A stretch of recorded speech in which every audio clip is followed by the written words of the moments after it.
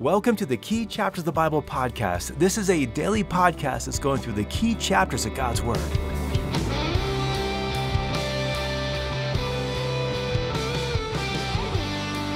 The message of God is the message of His love and forgiveness and offer to all of us to be part of His kingdom. This message is for Jews and Gentiles alike. And today, as we study Acts 13, we'll see how God sends the apostles throughout the region announcing this message to the world. Well, hello again. I'm Russ Brewer, pastor of Wellington Community Church in Wellington, Colorado, and you are listening to our daily podcast that's going through each of the key chapters of the Bible, one per day. Today we're in Acts chapter 13. So let's get on to Acts chapter 13. We're now in the spring of somewhere between 46 and 48 AD.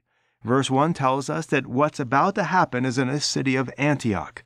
Now, Antioch was a significant city up in the northern eastern corner of the Mediterranean Sea. It was, it was far north of Israel. It would be in the southern part of modern day Turkey today. In fact, I'm going to be referring to this whole region as Turkey, even though back then it was divided into various regions. Antioch itself was an important city in the book of Acts. It's already been lightly referenced in Acts chapter 6, and then it's going to be heavily spoken about in Acts chapter 11. We skipped Acts chapter 11 but in Acts chapter 11, it talks about how some of Christ's people who were Jewish had come from the island of Cyprus and Cyrene to Antioch to tell the Greek people in Antioch about Jesus.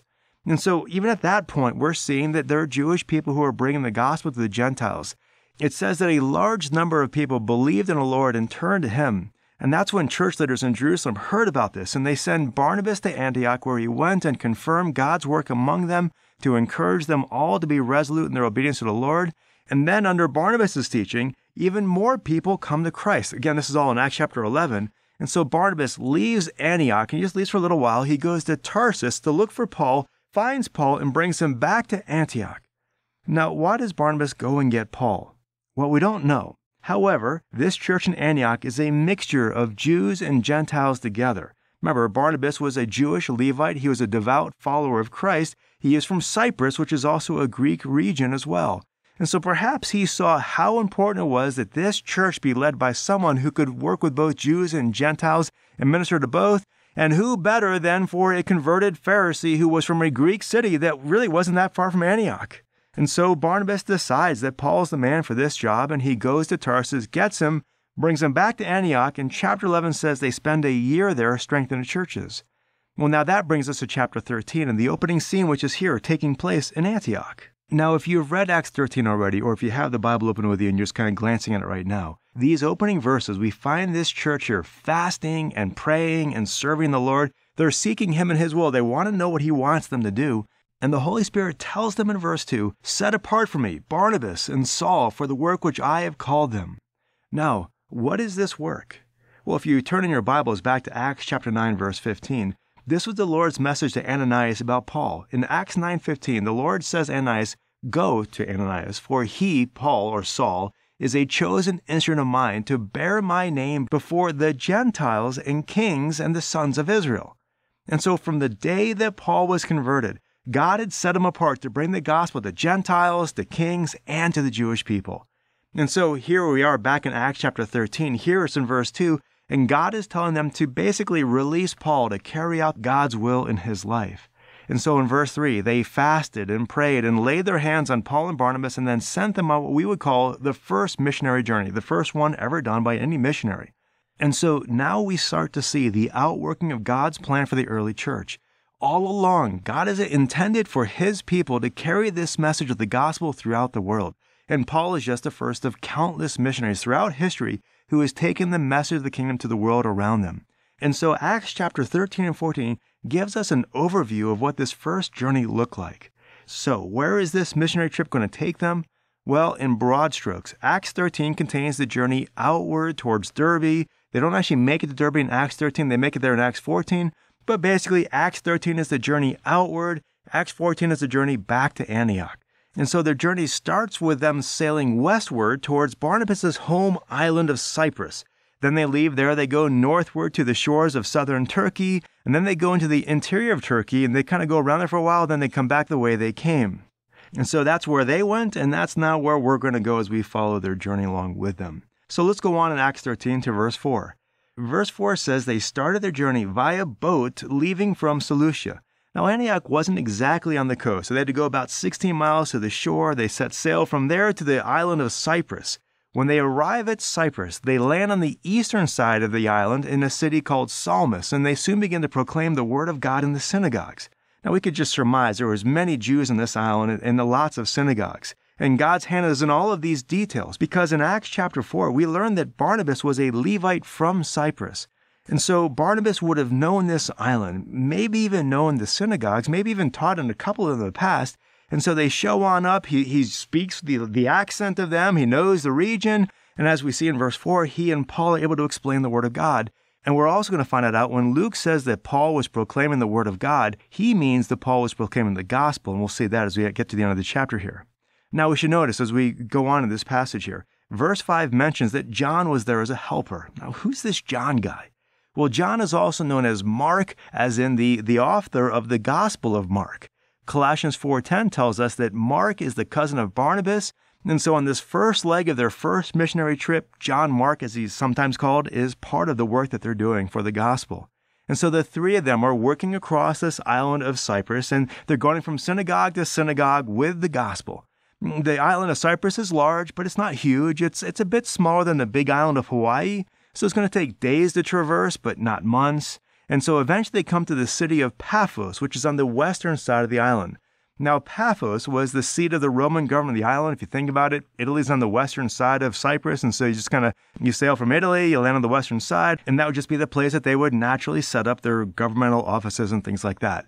And so the city of Paphos is also where the governor of the island lived. He's called the proconsul in verse 7. And, and so he's based out of Paphos. And so Paul and Barnabas have now come to Paphos. And so in verse 7, the proconsul, this governor of the entire island, calls for Paul and Barnabas because he wants to hear what they're saying. Now, this might be a good thing, maybe not. We'll, we'll find on out. The thing is, there's also a Jewish magician in Paphos named Elymas. And Elymas was this Jewish magician, which isn't really saying much. He basically did fake tricks to try to convince people he was something to listen to. And so Elymas doesn't want the proconsul listen to Paul and Barnabas. And so he's just trying to turn the proconsul away from Paul and Barnabas to, to just don't listen to those guys. But since this guy was interfering with the work of God, under the inspiration of the Holy Spirit, Paul declares that he would go blind for a while, and he does. And the proconsul sees this and he puts his faith in the Lord, and that's pretty cool. Now, before we leave the island of Cyprus, we should also notice I've been calling Paul Paul this whole time, but verse 9 actually tells us that Saul was also known as Paul, and Luke then, from here on out, will refer to him as Paul for the rest of the book of Acts, unless he's referring to the events surrounding Paul's conversion, and then he goes back to Saul. So we're going to stop calling him Saul Paul, we'll just call him Paul from here on out. Well, going on in verse 13, after all of this is done, in verse 13, they set sail again and now they head north to the southern coast of modern Turkey, to a coastal town of Perga. Now, for whatever reason, their companion, John Mark, he heads back to Jerusalem. And this is going to be a big deal later on in Acts 15. And in Acts 15, verse 38, Paul is going to describe John Mark's departure here as desertion. And so something not good is going on here. We don't know what it is, but we do know that John Mark leaves them. He leaves Perga and also, we know that nothing noteworthy happens here in Perga either. Perhaps this is the spiritual warfare that Paul warns us about in Ephesians 6:12 where he says, "Our struggle is not against flesh and blood, but against the rulers, against the powers, against the world forces of this darkness, against the spiritual forces of wickedness in the heavenly places." And so something's going on here. We don't quite know what it is, but whatever's going on, this part of this first missionary trip, it's it's not a very fruitful season right now. But then in verse 14, they head north by land to the city of Pisidian Antioch, which is in the interior of Turkey. They go to the synagogue there. They sit down among the people. And just to pause for a moment, synagogues were kind of like churches in some ways, and a lot of ways they weren't. Uh, like old fashioned churches, they were often built in the highest part of, of town or on a hill. They would try to be the highest structure in the town. If they weren't, they might make a pole to make them a little bit higher. And yet, unlike churches, they weren't used for worship, but for instruction. And so they were often much more informal than a church service would be today. And so in verse 15, you've got Paul and Barnabas in this synagogue, and the synagogue official says to them, Brethren, if you have any word of exhortation, please say it.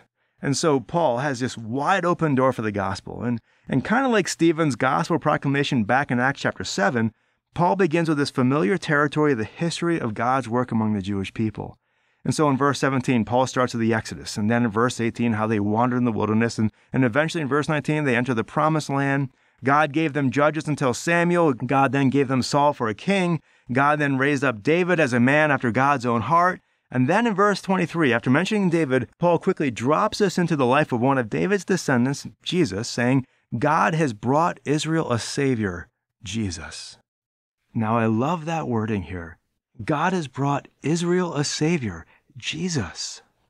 Paul then mentions John the Baptist in verse 25, and we're going to find out from Acts 19 that there was a strong following for John the Baptist in places in Turkey. And so Paul tells them that John the Baptist recognized the right and the rule of this Lord Jesus. And then in verse 26, Paul calls out to them, and I love how he calls them. He says, Brethren, sons of Abraham's family, those who fear God. And he calls out to them, saying, To us the message of this salvation has been sent. And he proceeds to tell them about Jesus and, and how the Jewish leadership had rejected him in verse 27 and crucified him in verse 28. And, and he was buried in verse 29. And then finally, though, the Lord has resurrected him in verse 30. And the message of the resurrection is central to Paul's whole point here. He mentions the resurrection in verse 30, verse 33, verse 34, verse 35, verse 37. And he explains in verse 33 that he, Jesus, is the Son of God. And in verse 34, he is the heir to David's throne. And so Paul has established Jesus' divinity and his kingdom rule. And now this divine king offers forgiveness. And so in verse 38, Paul says, Therefore, let it be known to you, brethren, that through him forgiveness of sins is proclaimed to you. And verse 39, and through him, everyone who believes is freed from all things from which you could not be freed through the law of Moses. And so he is telling the people God is offering them forgiveness and salvation from their sins through Christ. Now, what are they going to do? And so Paul gives them this challenge in verse 40, saying, Therefore take heed, so that the things spoken of in the prophets may not come upon you. Now, that's some pretty heavy stuff, but the people were thrilled with this message. And in verse 42, they were begging them for, to keep on teaching these things, and even the next Sabbath. And in verse 43, many people began to follow Paul and Barnabas, and they were urging these, these new believers to continue in the grace of God as opposed to just continuing the law of God, continue in God's grace. And so the people are thrilled to hear this. But not everyone. In verse 44, the next Sabbath, nearly the whole city is coming out to hear the word of the Lord, which is again that message of the gospel that Paul preached on the last Sabbath. But in verse 45, some Jews saw this. They saw all these people coming out. They listened to Paul and Barnabas, and they were filled with jealousy, and they began to contradict the apostles. And so Paul and Barnabas speak out boldly and say, They have judged themselves unworthy of eternal life. And he tells the people in verse 47, For so the Lord has commanded us, I have placed you as a light for the Gentiles, that you may bring salvation to the end of the earth. In other words, folks, if you're going to reject this message, then we'll go directly to the Gentiles with it. And so in verse 48, the Gentiles hear this and they're rejoicing. And it says, As many as been appointed to eternal life believed. And in verse 49, the word of the Lord was being spread throughout the whole region. And so just this amazing time of celebration among the Jewish believers and, and many Gentile believers. They're finding forgiveness in Christ and entrance into his kingdom.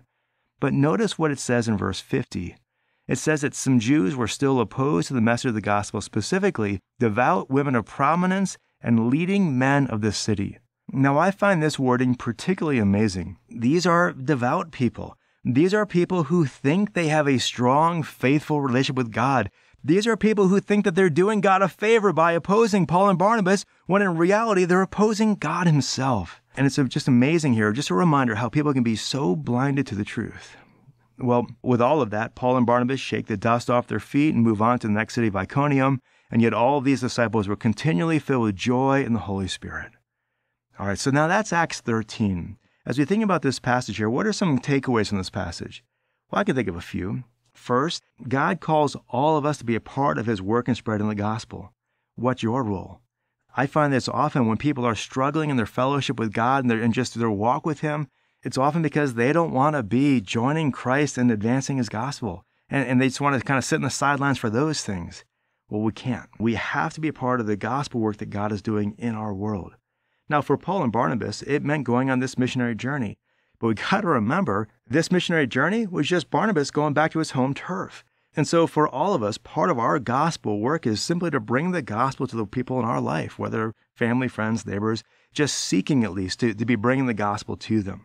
And along those lines, as we're looking at this chapter here, we can see that when we are faithful to bring God's message to the world around us, sometimes people will actually embrace it. They'll actually come to Christ, and we'll have the joy of introducing them to our Lord and Savior and the forgiveness He offers through the cross. Second, throughout this chapter, we see people embracing the message and other people opposing it. This opposition is clearly spiritual in nature. That's why we must be constantly praying and seeking for God's work and protection in, in our efforts as we try to join Him in, in advancing the gospel of the kingdom. And finally, at the end of this chapter, it was the devout women, it was the leading men who were most opposed to the clear message of God. Let us not follow their example. Let's not let pride creep into our thinking so that we think we're in the right, but we're actually opposed to the work that God is doing among us. Well, we'll wrap up chapter 13 on that note. Thanks so much for listening. Hope you have a great rest of your day. God bless.